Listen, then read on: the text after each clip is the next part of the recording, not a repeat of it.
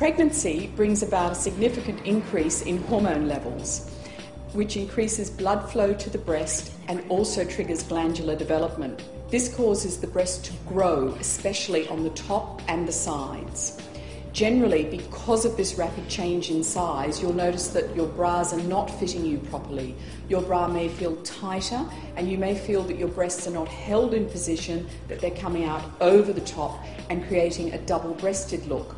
Your breasts will also become tender, and you could feel horribly uncomfortable. These are the signs that you need to be fitted into a more suitable bra. Typically, this will occur at 6 to 12 weeks. It is vital to your comfort and breast health to wear bras designed for the purpose. Let me explain. A maternity bra should have good stretch through the top of the cup, which will accommodate growth through the pregnancy of the breast. The second really important thing to look at is a cotton lined bra. That will mean that you can wear the prettiness of lace in a bra and you won't have the potential irritation against your skin. Cotton's also a natural fabric, so you're getting really good breathability there and ultra comfort against your skin. The third thing to look at is the straps. The straps must be supportive, and if they're lined with cotton, as these ones are, it's fantastic. It's going to give you even more comfort again, and it's going to really hold and support softly.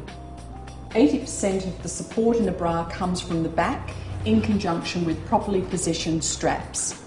Your maternity bra should also be designed with a six hook and eye closure, allowing room for expansion as your rib cage expands to allow for fetal development.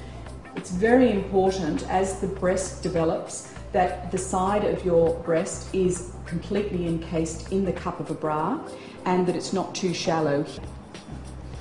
At your first fitting, select three bras one on, one in the wash, and one in your drawer. At around 28 weeks, you should be refitted because you'll need to reassess your size in preparation for the breast milk's arrival just prior to birth. Please don't try to make the same bras last from early pregnancy through to breastfeeding. Bras do wear out, and when they do, they fail to support and they become uncomfortable. You will never need more support as you will when you are breastfeeding. Your breasts are continuously filling, then delivering, and then filling again.